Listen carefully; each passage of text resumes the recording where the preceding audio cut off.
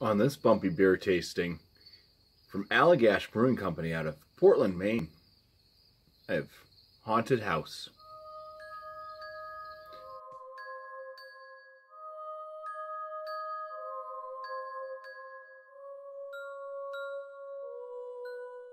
Haunted House is a uh, hoppy dark ale. Comes in at 6.66% ABV. And uh, yes, uh, it's fun this this time of season. Um, this beer is about a month, about five, we'll say five weeks at the time of this tasting. Um, old, but uh, perfect for this time of year. Let me go ahead uh, just read the little back here. I haven't read it yet, so just want to see what it says. Um, it says, Doomed by a love of pitch black porters in our Allagash house beer, we summoned the recipe for Haunted House. Roasted barley and black prince malt curse this beer with a gravely dark hue. Hopped with crystal, chinook, and Saaz hops, this beer ends with a ghostly coffee note and hauntingly complex malty palate. We brewed all of our beers at a single brewery in Portland, Maine, just like we have since 1995. If you're ever in the area, we'd love to show you around. So, I got uh, some flavor notes in there, I guess, um, but I will just erase all that, ghosting my memory. Uh, let's go ahead and pour this into fall festive glass.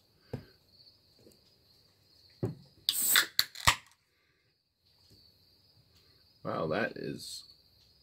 I wish I could show that. I actually have a. I had a uh, little bead uh, of foam on top of the rest of the beer.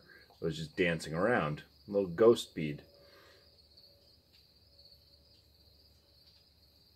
With this pour, it has a kind of mocha colored head. Looks pretty frothy. There's a mixture of very tight, small to medium sized bubbles. The color of the beer itself, I get like a little bit of a brown to reddish hue in the reservoir down here. But yes, it's very um, quite uh, dark black. All right, so for the appearance, six out of six. All right, let's go in for the aromas.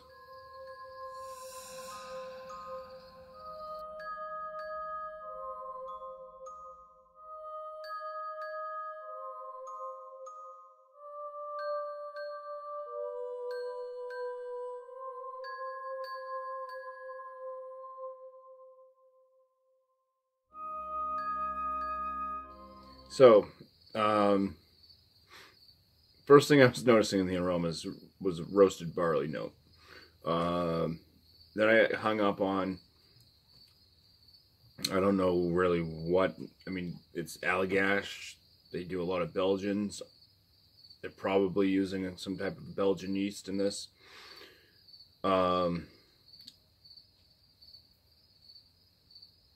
from what I can, after smelling on it for a while, the only thing I can kind of describe it as is like a chocolate banana Laffy Taffy type aroma. Um, and uh, smelling on it, I was searching for some coffee since I did read it. There's like right after that uh, weird chocolate banana Laffy Taffy note, maybe like a weak hint of coffee, maybe like really old cold type coffee. Um, but uh, yeah, coffee is definitely not any anything in the dominating aromas. Um, it's more that roasted barley and then that kind of chocolatey banana type thing going on. So I'm going to give this, it's just interesting. Uh, I'm going to give it a 9 out of 10 though uh, for the aromas. So it's time to go in for the first swig. Cheers.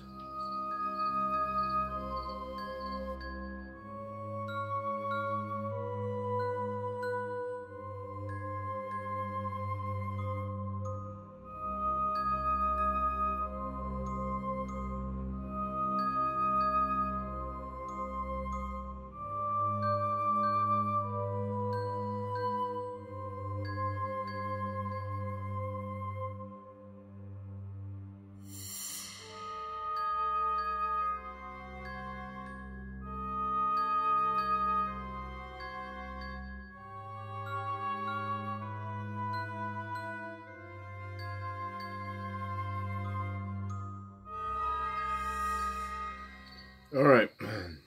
For the flavors, get a little bit of like a, a roasted barley note.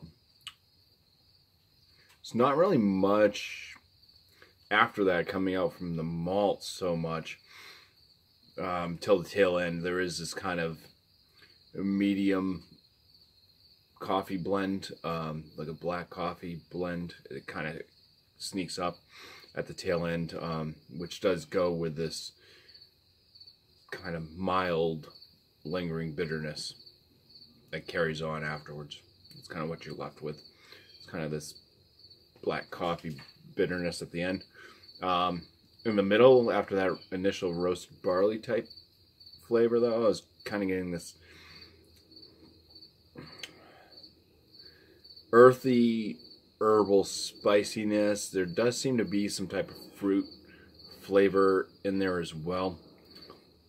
Cannot say what type of fruit it is, but it does seem to be kind of a little bit on the uh, the fruity side there. Um, seems to be a medium body. It's a very smooth mouthfeel to this one because there's almost no carbonation. This is basically like drinking Guinness. The Guinness Irish Stout on nitro with uh, maybe a, I don't know, a little bit less coffee flavor in it. Um, yeah, I'm gonna give this an 11 out of 19 for the flavors. Uh, the body on it's fine being medium and having that smoothness isn't bad either. Uh, give it a five out of five. My overall on this, I mean, I don't, I don't really care for this all that much. Um, it's not disgusting, but I, I wouldn't pick it up again myself, really. So I'm going to give this a 4 out of 10 for my overall. Um, so for the Allagash Brewing Company's Haunted House Hoppy Dark Ale, it gets a bumpy 35 out of 50. That's going to land this as an average brew. So, cheers, guys, and thank you for watching.